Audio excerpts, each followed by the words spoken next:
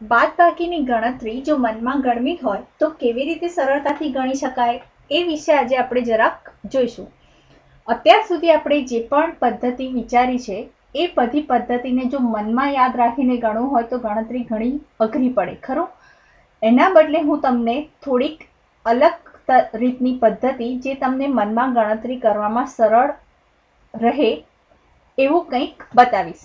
ધારો કે એક રકમ લઈએ નવ હજાર ચારસો છપ્પન. ઓછા સાત હજાર પાંચસો નેવ્યાસી. આ મારા દાખલાની રકમ છે.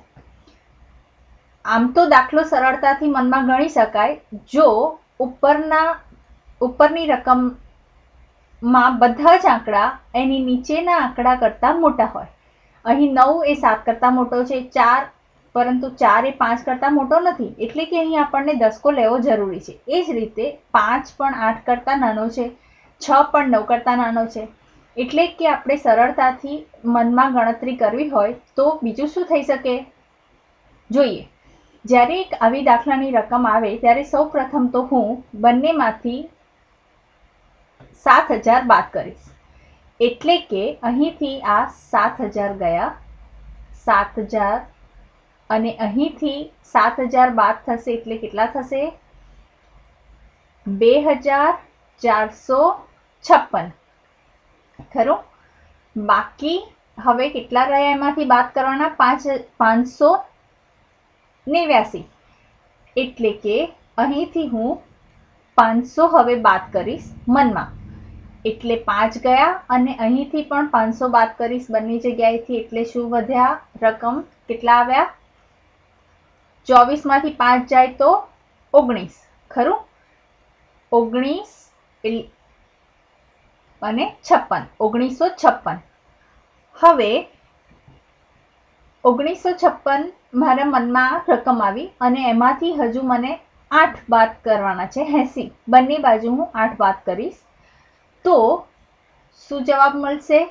અહીં એકસો પંચાણુંમાંથી આઠ બાદ કરવાના રહેશે, એટલે કે પંદર ઓછા આઠ બરાબર સાત અને અહીં આઠ. એટલે કે એકસો સિત્યાસી અને છ એમ જ. એટલે કે હવે મારે છોતેરમાંથી નવ બાદ કરવાના રહેશે. એટલે કે છ માંથી નવ જાય તો સાત ને અહીં છ, એટલે કે સડસઠ.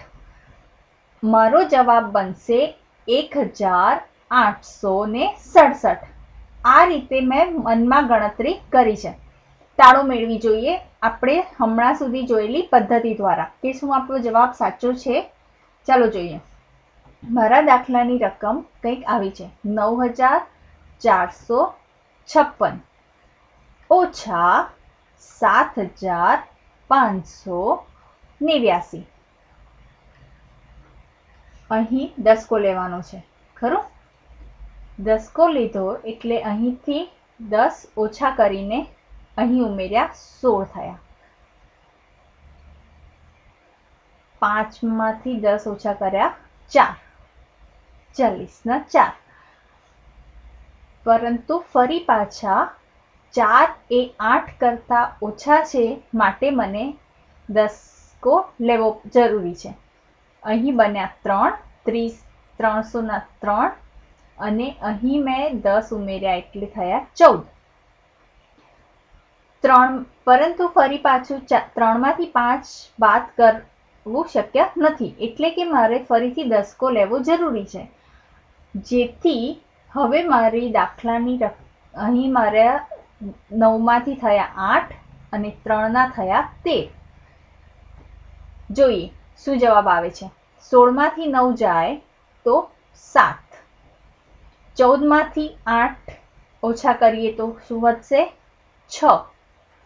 તેરમાંથી પાંચ જાય તો આઠ અને આઠમાંથી સાત જાય તો એક. અરે વાહ! નસીબદાર કે આપણે બંને જવાબ સરખા મળ્યા. આ પદ્ધતિ આપણે જ્યારે અહીં દાખલામાં કાગળ ઉપર લખીએ, તો જરાક વધારે કાગળ ભરાય છે. પરંતુ મનમાં ગણતરી કરતી વખતે આ રીત વધારે સહેલી છે, કારણ કે આપણને ખાલી બે, ત્રણ જ રકમ યાદ રાખવાની છે.